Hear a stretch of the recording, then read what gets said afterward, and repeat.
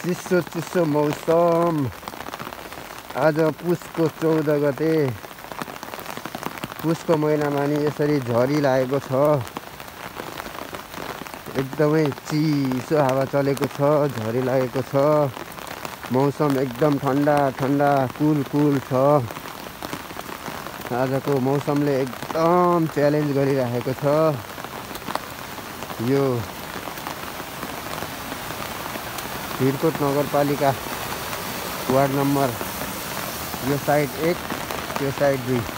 खोलाले छुट्याएको छ आँधी खोला। बिस्तारै खोला बढ्ने क्रममा छ।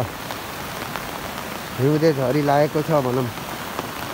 हिउँदको झरीसँगै चिसो चिसो बढ्ने क्रममा छ अझै। चिसो बढ्ने क्रममा छ।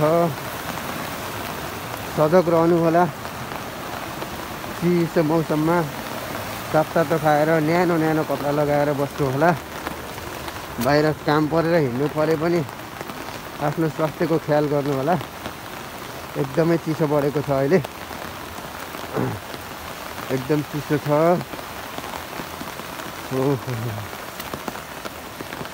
आज दुई हजार अठहत्तर पुसको चौध गतेसँगै नेपाल अधिराज्यभर चिसो बढ्ने तथा हिमाली क्षेत्रमा हिउँ पर्ने सम्भावना रहेको समाचारले सुनाएको छ।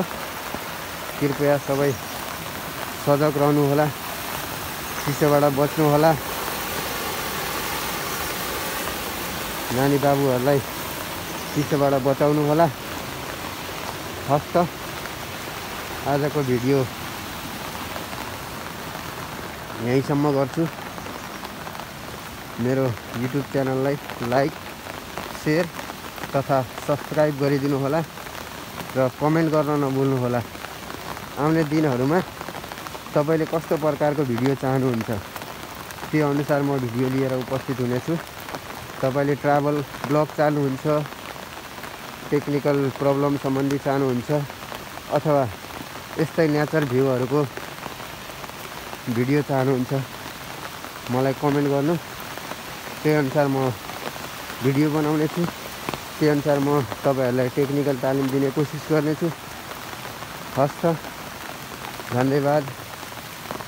जय नेपाल। जय भिरकोट तिम्रो सहर छोडी पर